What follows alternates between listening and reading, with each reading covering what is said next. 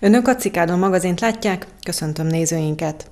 Az utánpótlás nevelés megerősítése és a tömegsport támogatása vezette a Bátaszéki önkormányzatot akkor, amikor 35 millió forint önerőt szavazott meg egy új műfüves labdarúgó pálya és a kiegészítő helyiségek kialakítására.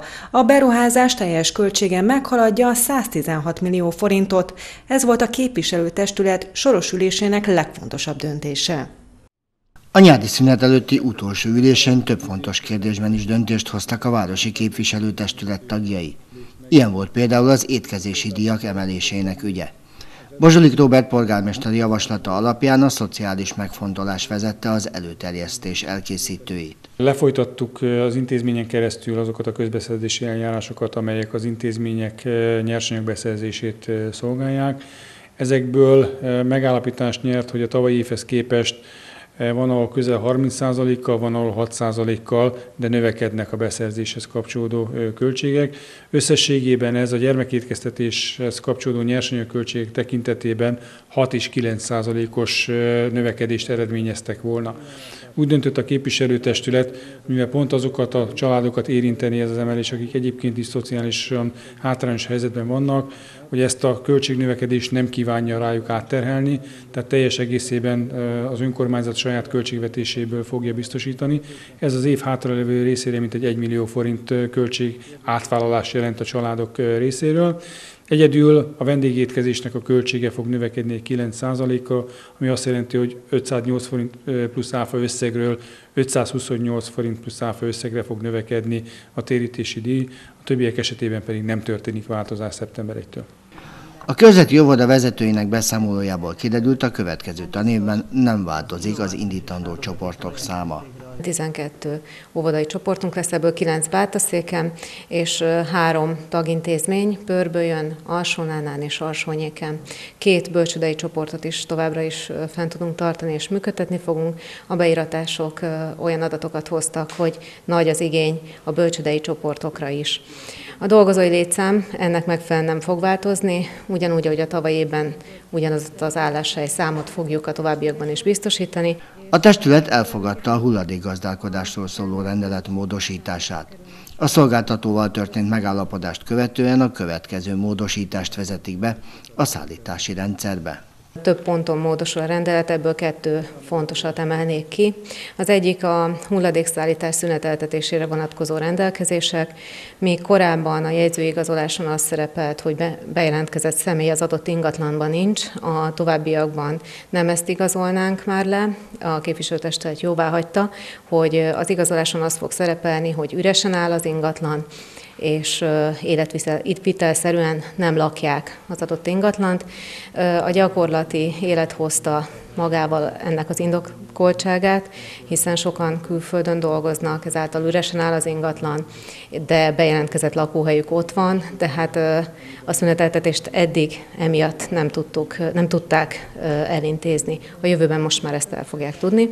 A másik fontos eleme a rendeletmódosításnak a lomtalanításra vonatkozó rendelkezés. Még korábban egy szervezet lomtalanítás volt éves szinten az egész városra kiterjedően. A jövőben ez úgy fog alakulni, hogy az ingatlan tulajdonosnak kell felvenni a kapcsolatot az aliszkatárával, az időpontot egyeztetni, és egy évben egyszer a házhoz menő lomtalanítást ingyenesen biztosítja az aliszkatára az ingatlan tulajdonosok számára egyénileg. A lomtalanításra váró hulladékot azonban nem lehet az utcára tenni, azt a szolgáltató számára a házak udvarán kell összegyűjteni.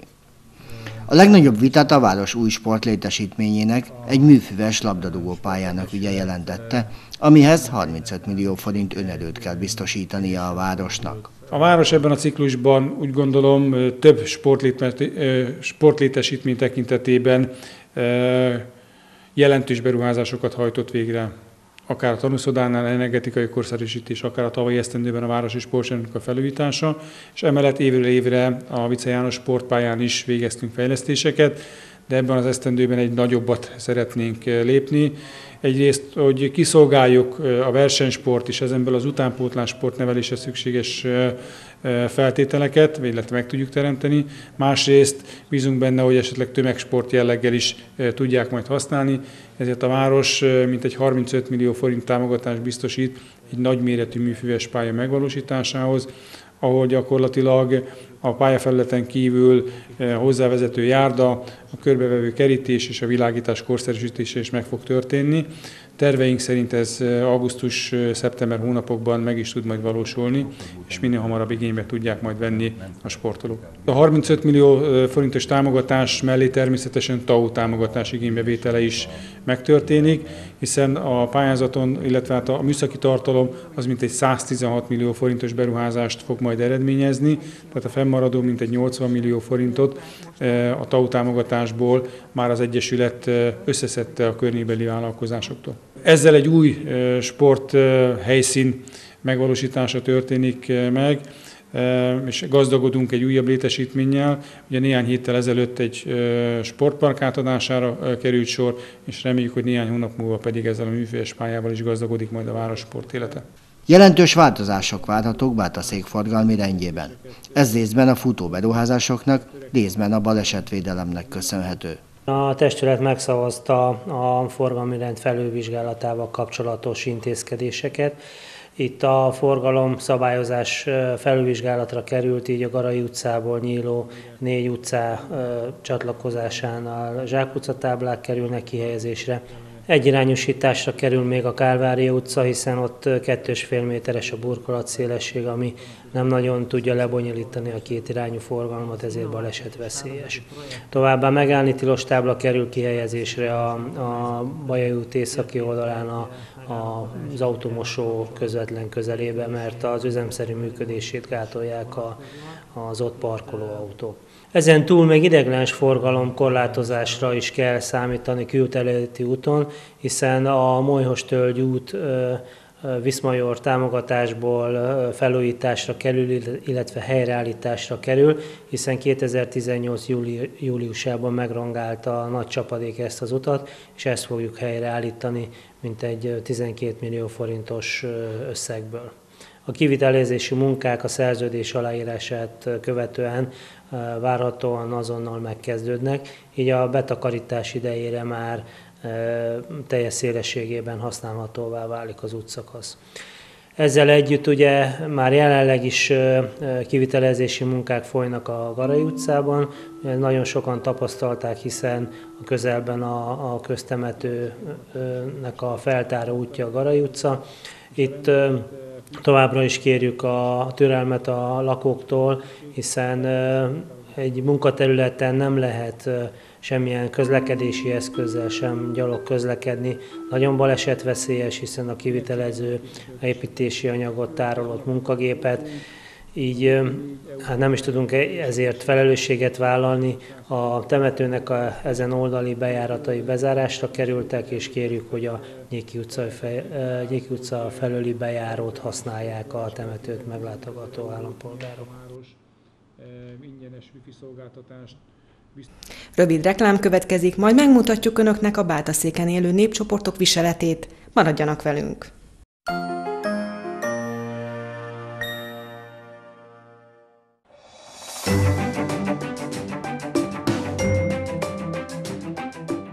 Változik a világ, és vele változik az Otthon Mix kisáruház is, már a gyerekek is megtalálhatják kedvenc játékaikat újonnan nyílt osztályunkon. Étkező konyha vagy fürdőszoba berendezés, tisztítószer, nálunk mindent megtalál, amivel szebbé varázsolhatja otthonát. Ajándékot szeretne szeretteinek? Akkor is nézzen be hozzánk.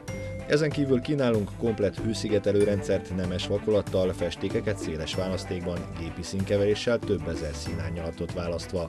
Forgalmazunk villanyszerelési termékeket, kötő és rögzítő elemeket, építőipari anyagokat, fenyő, fűrészárut. Ha mégsem talál valamit széles kínálatunkban, azt azonnal megrendeljük és napokon belül a rendelkezésére bocsátjuk. Termékek A-tól Z-ig a Bátaszéki Otthon Mix kisáruházban.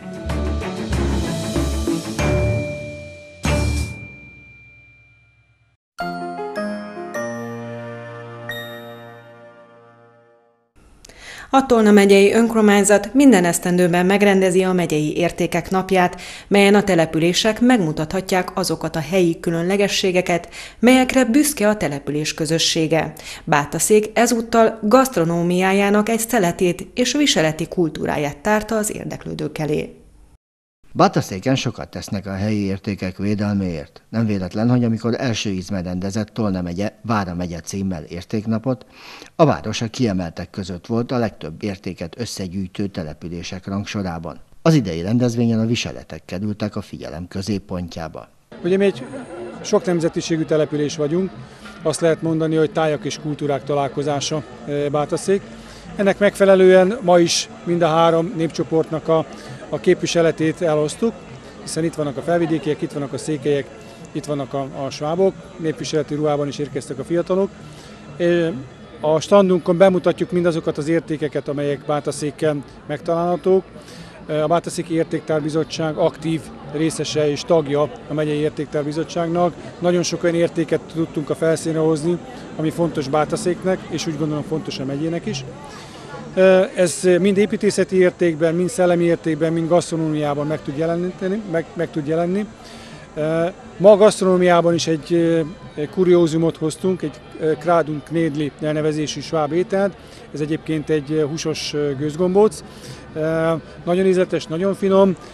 Valószínűleg ez sem már a régi recept, hiszen a több nemzetiségi településből adódóan lehet, hogy ez már egy kicsit átalakult és változott, de ettől függetlenül bátaszékre jellemző, nagyon finom és érdemes megkóstolni.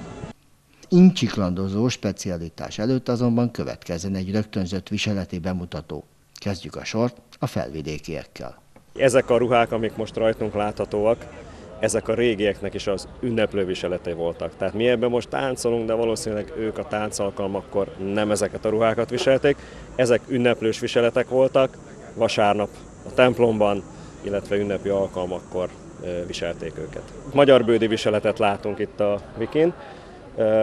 A fején lesz egy nagyon érdekes ruhadarab, ez azt hiszem, hogy egyedülálló, egy nagyon egyszerű, de nagyon csinos és szép hát fityulának mondjuk mi, majd lehet majd látni egy szép négyzet, négyzetes alakú egyedülálló, ilyen más feléjet nem használnak, menyecskék hordták.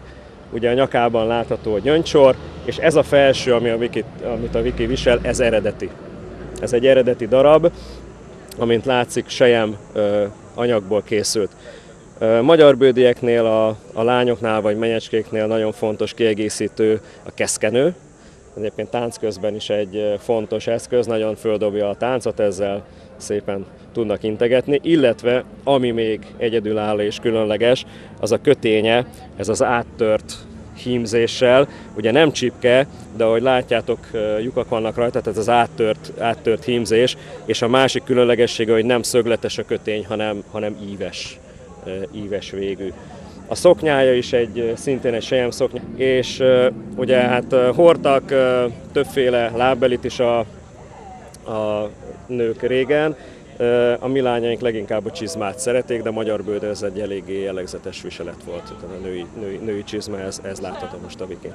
Rajtam egyébként szintén egy felvidéki viselet látható, magyar bőd az a keleti részen van, viszont ami rajtam van az igazsághoz hozzátartozik, az a nyugati részről való Nagysallóból, Bátaszék testvértelepülése, eredeti darab a mellény és a nadrág.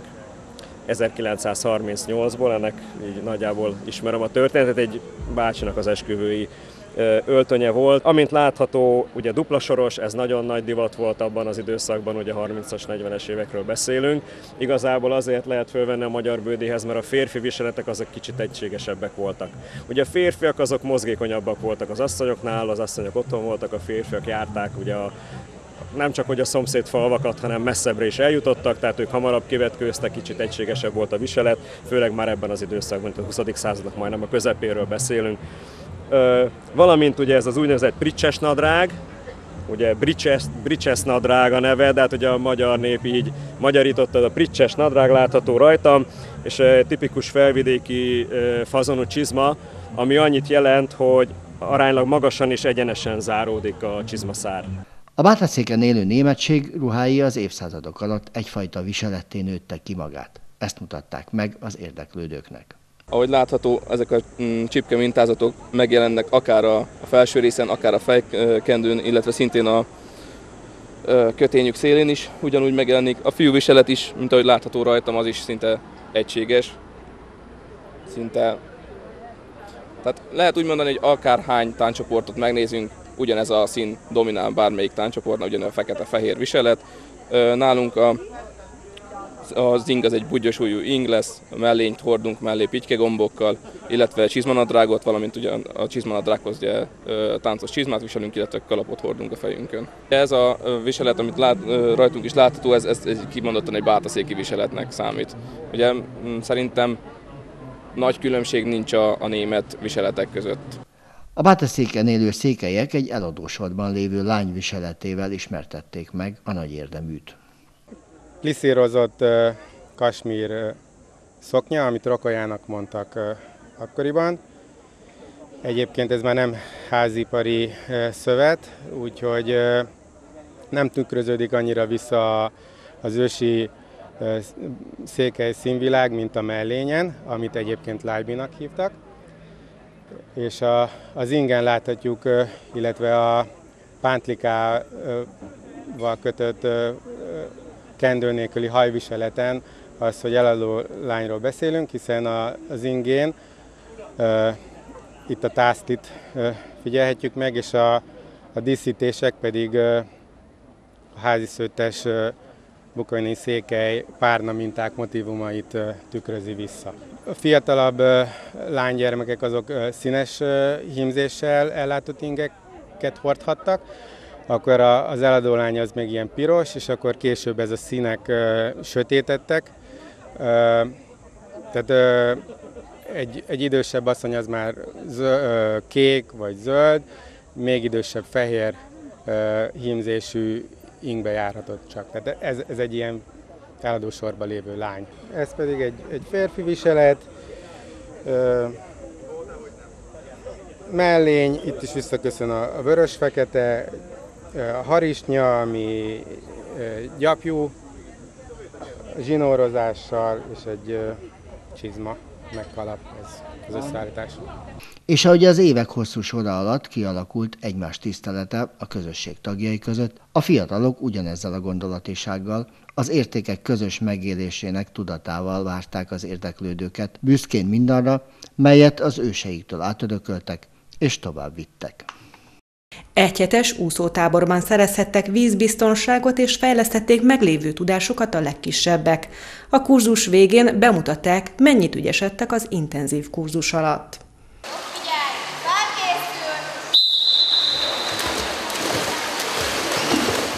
Ezektől a gyerkőcöktől ma még nem lehet tudni, hogy néhány esztendő múlva nekik szurkolnak-e bátaszéken valamelyik úszóversenyen. De egyelőre nem is ez volt a cél. A város óvodájában a pedagógiai program szerves része a vízhez szoktatás és a vízbiztonság megszereztetése. Erre a folyamatra épülve szerveztek a kicsiknek tábort, ahol a legfontosabb cél, hogy az apróságok stabilan elengedhetőek legyenek a medencék környékén.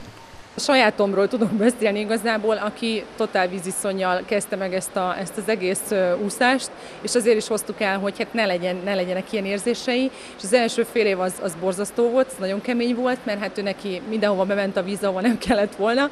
Aztán egy év után már úgy jött ki a medencéből, hogy, hogy hát majd, hogy nem biztosan úszott.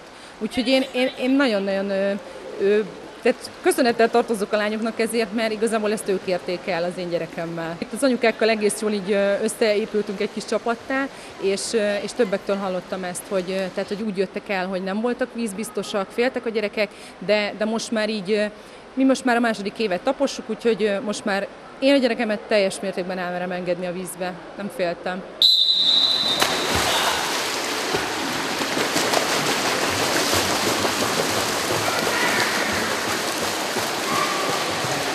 Két éve jár a lányokhoz rendszeresen úszni hetente szombatonként, és nagyon sokat fejlődött. Most viszont a táborban ez a napi rendszerességgel való úszás úgy gondolom, hogy neki is nagyon sokat segített abban, hogy biztosabban tudjon úszni, meg hát több úszásnemet is most így el tudott sajátítani. Mindenféleképpen tudjon úszni, és természetesen biztosan tudjon úszni, mert az életben bárhol adódhat olyan szituáció, nem csak egy strandolás alkalmával, hogy a gyerekkel bármi történik, akkor ő onnét biztosan ki tudjon jönni és tudjon úszni. A környezetünkben nagyon sokan vannak, akik versenyszerűen úsznak, és ez tetszik is a gyerkősznek. Úgy gondolom, most kell elkapni ezt a fonalat, hogy ameddig lelkesen jár úszni, és hogyha igen, úgy sikerül neki, és jól tud úszni, akkor természetesen támogatjuk abban, hogy ő versenyszerűen is űzze ezt a sportot. A lányok, akikről az előbb szó esett, Mezei Réka és Berdán Anett minden szakmai tapasztalatukat latba véve dolgoztak a picikkel, akik láthatóan nagyon élvezték, hogy bemutathatják tudásukat szüleiknek. Ők egyébként, már hogy a lányok nem titkolják, figyelik azokat is, akik a BSE úszó utánpótlását szolgálhatják majd. Az utánpótlás kinevelése volt a cél, hogy Nagy Ákoshoz tovább jussanak a kicsik, és megkeressük azokat, akik leginkább tehetségesek az úszásra, de természetesen ott volt az is, hogy minden gyerek tanuljon meg úszni, egy vízbiztonsága legyen, és ugye három éves kortól hozzánk lehet hozni a gyerekeket, egy ilyen vízhez szoktatás a kezdetektől, utána pedig már ugye az úszásnak a technikáit, annak az elsajátítása a cél. Tulajdonképpen én azt mondom, hogy nincs korán három évesen, mert megtanulják a, a lemerülést, a vízhez hozzászoknak. Budapesten én oktatok, és ott négy éves kor alatt nem foglalkoznak a gyerekekkel, mert hogy nincs olyan mozgáskoordinációjuk. De mi úgy gondoljuk, hogy van egy kis csoportunk, ahol csak ez a vízhez szoktatás megy, és sokkal könnyebben tudunk utána velük foglalkozni már, amikor jön a lábtempó, a kartempó, amikor már bele kell rakni a fejet a vízbe, sokkal ügyesebbek. Már négy éve kezdődött ez a tábor, kezdetben úszó tanfolyamként hirdettük meg, minden nap egy órát úsztak a gyerekek, és azon kívül más program sajnos nem volt. A szülők is jelezték, hogy igény lenne egy napközis jellegű táborra, és idén úgy döntöttünk, hogy akkor napközis jelleggel szervezzük meg a tábort. Úgyhogy a hét úgy zajlott, öt napból állt a tábor, a mai szombati nap egy bemutató úszás a szülőknek, a többi napon minden délelőtt úszással kezdtük a napot, és délután különböző programok voltak, játszóházba mentünk, lovardát látogattunk, kézműves játékokat játszottunk, és különböző sportjátékok töltötték ki a napokat. Most, akiknek ezt a tábort idén hirdettük, őnekik már volt egy alapúszás tudásuk, és idén a célunk az volt, hogy ezt mélyítsük, kicsit finomítsuk, a technikára mentünk inkább rá. Több eszközös feladat volt inkább. Az idei táborban 15 csebete élvezte a mozgás örömét.